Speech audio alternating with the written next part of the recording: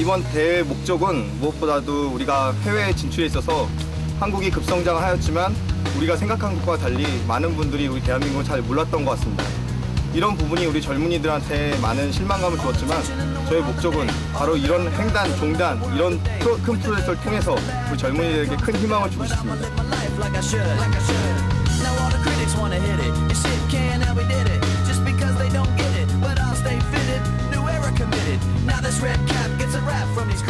자신감이 늘 부족했었고요. 그 자신감을 극복하기 위한 방법으로 동단을 선택하게 되었고 앞으로 제가 계획 중인 구제 활동, 어린이 구제 활동을 위한 흔들리지 않는 마음을 끝까지 지키고 싶어서 종단에 참여하게 되었습니다.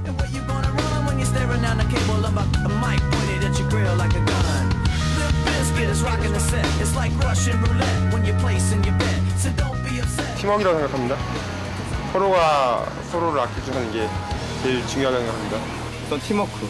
그 다음에 각기 다른 사람들이 각자 분야에서 20년 넘게 살았던 이 부분들을 하나로 묶는 점이 가장 중요하다고 생각합니다.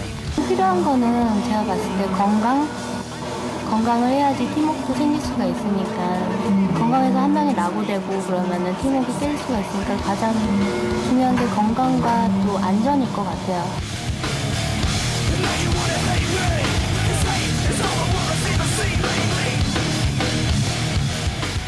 현재 아무래도 비용이 커서 비용 마련을 하고 있고 체력적인 부분에 대해서는 예전에 했던 달리기를 계속하고 있습니다.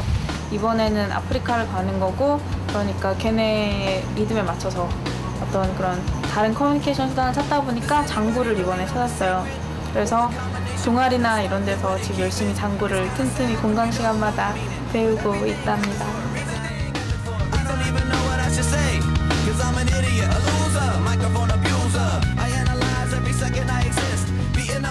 평소 모습과 똑같다는 거예요. 뭐 힘들고 어렵다고 해도 달라질 건 전혀 없고 항상 뭐 어려운 상이라도 열심히 하니까 웃음 잃지 않고 그게 다른 장점이라 생각하고.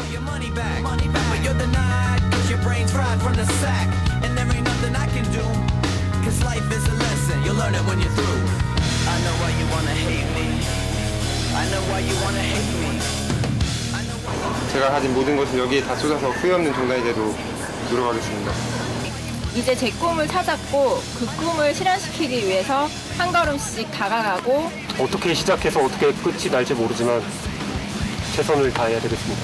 시작한 일에는 절대 물러서지 않겠습니다. 가기 전까지라도 그리고 하는 동안이라도 최선을 다하겠습니다. 건강하게 즐겁게 많은 정보 얻어서 오겠습니다. 어차피 앞으로 가야 할 거라면 망설임 없이 앞으로 나가겠습니다. 고고 아프리카 화이팅! 고고 아프리카 화이팅! 고고 아프리카 화이팅! 고아프리카 화이팅! 고고 아프리카 화이팅!